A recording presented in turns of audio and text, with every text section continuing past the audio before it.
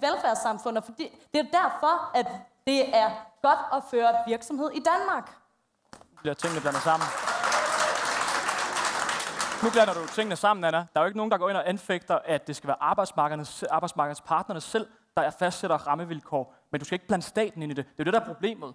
At hvis Men det en løn, jo hvis en nødt til, at konkurrere arbejdsgiver, på løn og vilkår. Hvis en arbejdsgiver og en arbejdstager kan blive enige om, du skal arbejde for den her løn, så er det jo positivt. Du blander staten ind i det her, hvor det faktisk er det frivillige initiativ, der altid har præget det danske arbejdsmarked. Og det er jo derfor, vi ligger nummer et. Og så vil jeg bare sige, at skatterne gør faktisk, at øh, de har sagt, at det er negativt i forhold til vores konkurrenceevne. Men jeg vil gerne have det på arbejdsmarkedets parter.